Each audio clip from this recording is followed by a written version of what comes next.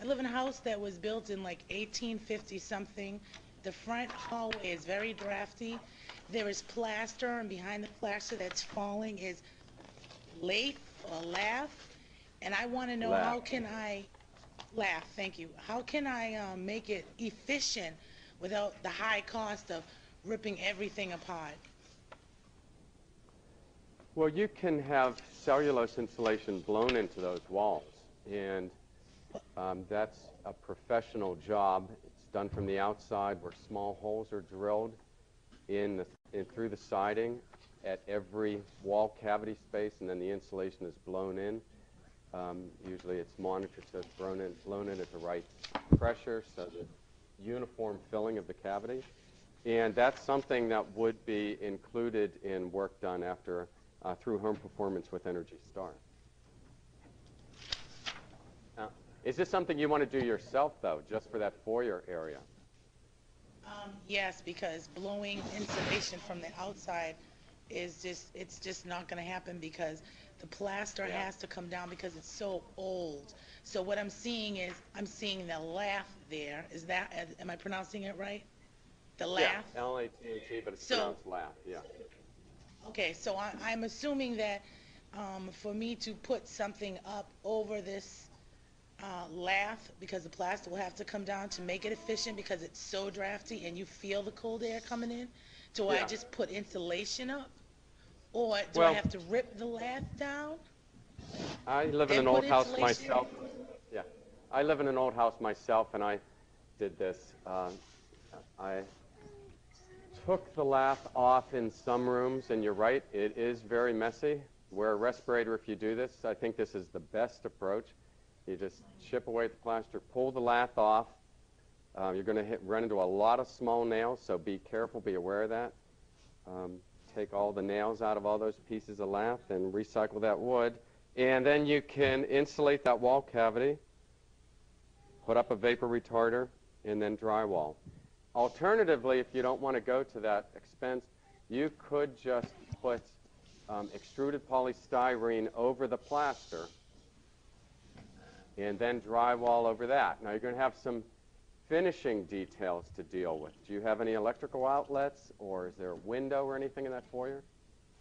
One, one electrical outlet, but then it- I'm actually gonna take away because then what you're saying is the walls are gonna come out further towards me, which is That's gonna change That's the right. construction of the whole door frame and so that Yeah. to me is, I'd rather rip down and then put insulation, but I just wanna know if that was the best thing to do.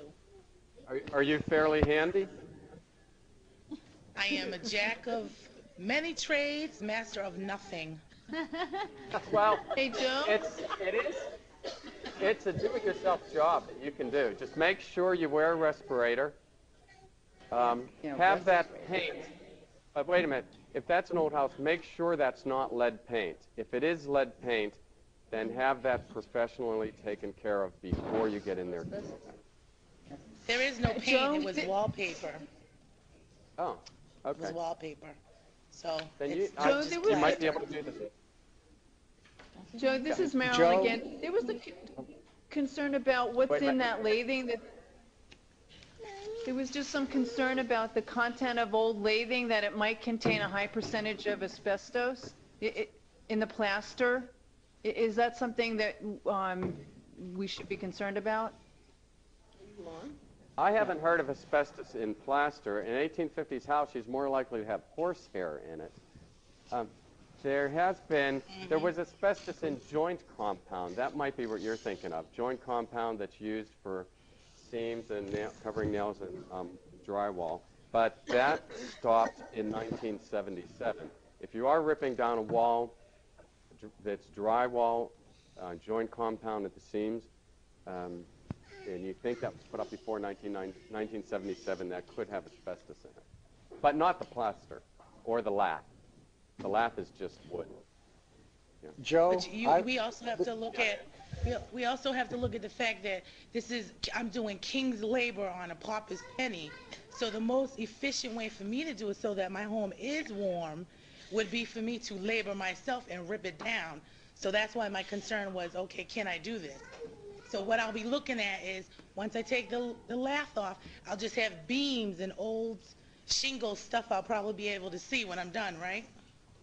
You'll have studs, and they'll be full width. They won't be like the nominal width studs we have. They'll be real two by fours or two by sixes. Um, it depends. And if the house is post and beam or mortise and tenon, you, it might not have um, just regular wall cavities, but you'll have areas where you'll be able to put fiberglass insulation in. I think you can do it. Good luck. Thank you very much.